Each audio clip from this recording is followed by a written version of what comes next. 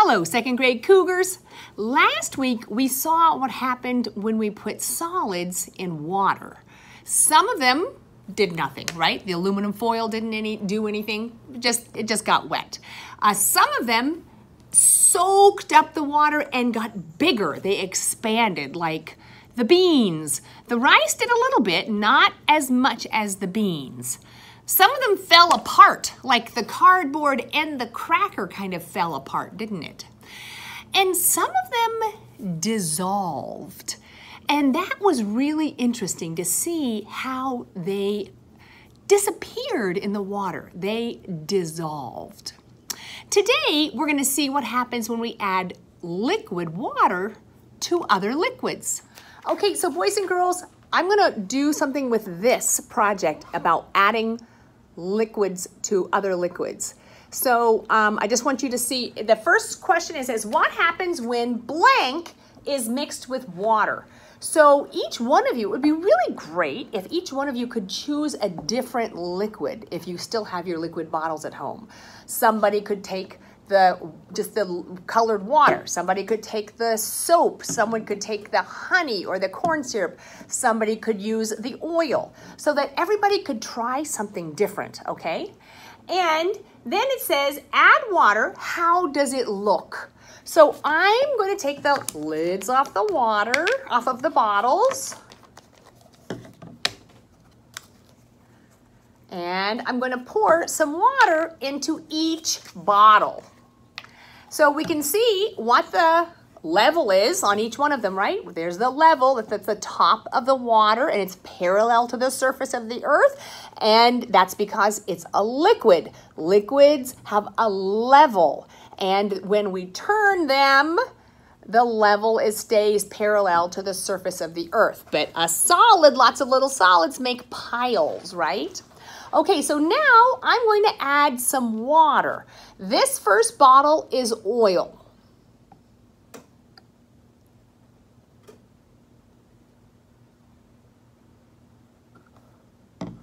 Huh, look at that. I poured in the water and the water went to the bottom.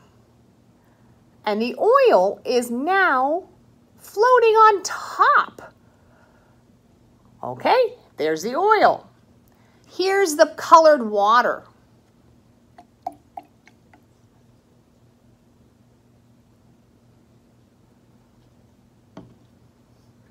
What happened to the colored water? It just got lighter, right? It's not as dark as it was before. There's a greater quantity of it. There's more of it. The level went up, but it didn't change much besides that.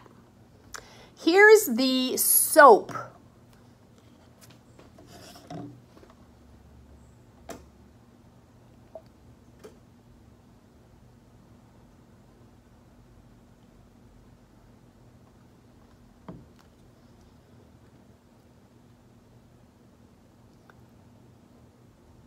That's kind of interesting. What do you see? It seems darker green at the bottom and a light green on top. And it seems like there is a level in between, right? It looks like there's almost layers. It looks like this is one layer of darker green, and this is another layer of lighter green. Okay? This is the corn syrup.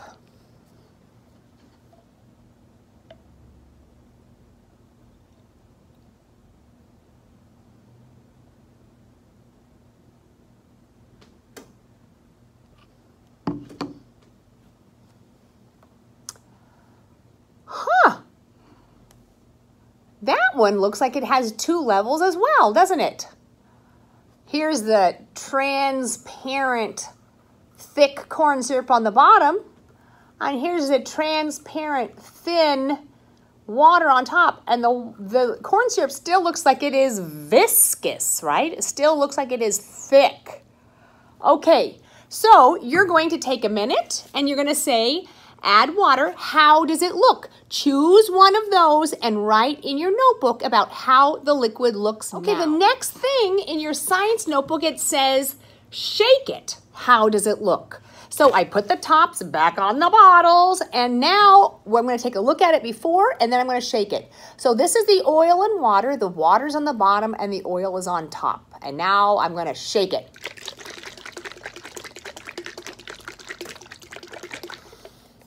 Ooh, what does it look like now?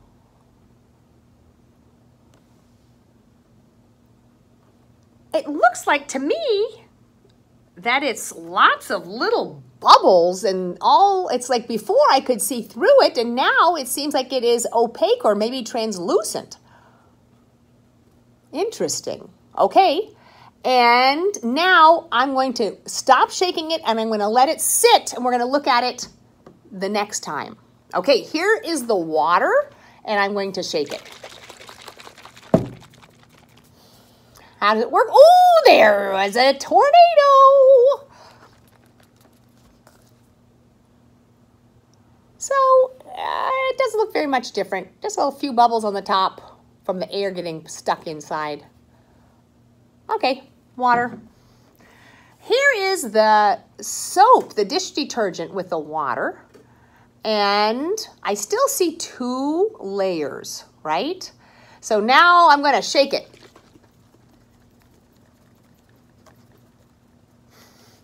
Ooh, look, ooh, look at that. Look, do you see the colors mixing in? Oh, I'm gonna shake it a little bit more.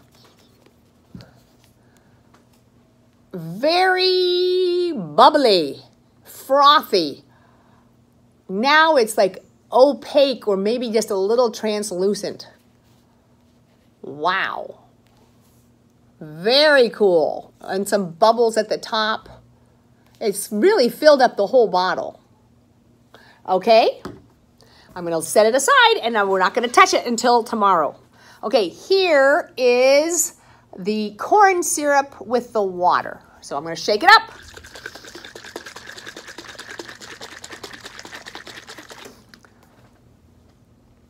Okay, I see some little bubbles inside, but it's not as opaque as the others. Ooh, look at this. Do you remember how thick and viscous the corn syrup was before?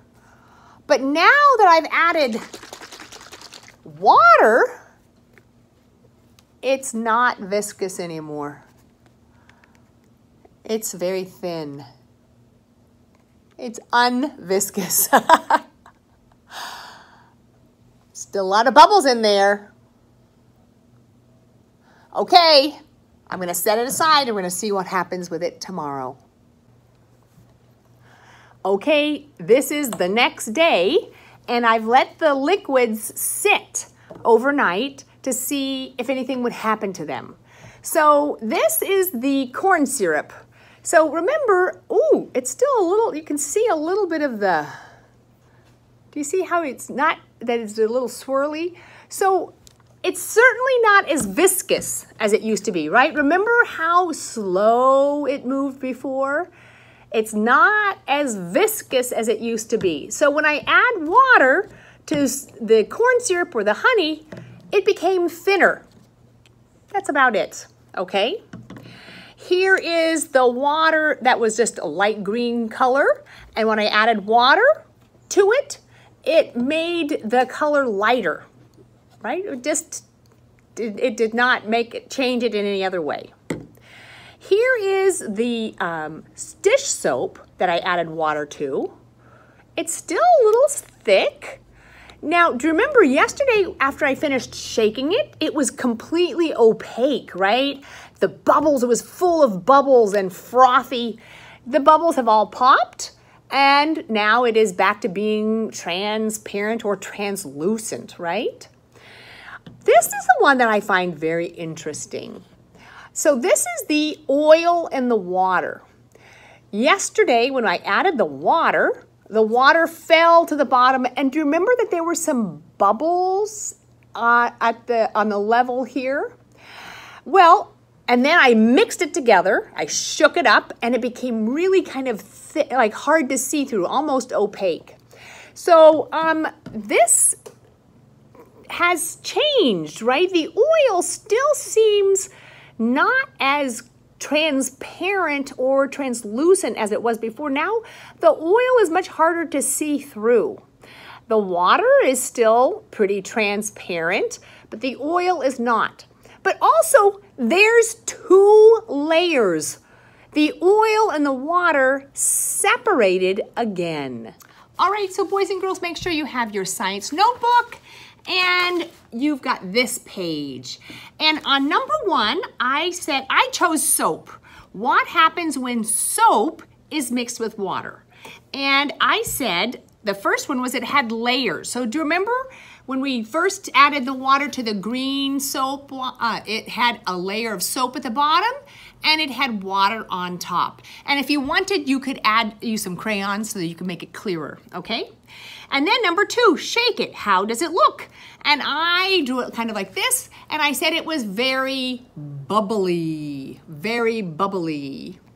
And then number three, how does it look the next day? And I said it what had it was more transparent and less viscous, right? Not as viscous as it used to be.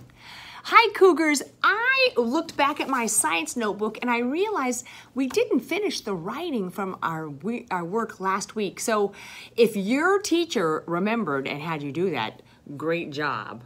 If you're like me and you forgot, let's go back and do it again, okay? So we looked at the solids, right? We put some solids in water and the first thing was that we drew a picture of what they look like first before we added the water. Then the next thing it says, in the second one, it says, after a night in the water, the solid looked, well, I had chosen salt. So I said that the solid looked clear. It dissolved. And so that's what I wrote on this page. Then, remember I said to leave the next page blank because I wanted us to write something about it? So what I did is I put number one, the salt looked like little cubes when it was dry. And then I put number two, after the water was added, the salt cubes dissolved and the water was clear. All right, so then I'm gonna put a number three because I already know what happened after the water dried up. So I'm going to say, when the water evaporated, the salt was left behind. And that's kind of an important idea for us to remember in terms of the water cycle. We're going to talk about the water cycle later. Okay, so make sure that you write something in your science notebook about the solids and water. Got it? Then on the next page, it's this one. We didn't finish this one. Record what your dry solid looks like and so I drew a picture because I did the salt. I drew this some salt crystals. And I said the solid looked like different shaped crystals because it looked different after it dried. Okay, so make sure that you add that to your science notebook. All right, so we spent the last two weeks adding water to stuff. We added water to solids and saw what happened with them. And then we added water to liquids and saw what happened with them. Next, we are going to see what happens when we change the temperature of water and other materials. All right, see you next week, Cougars.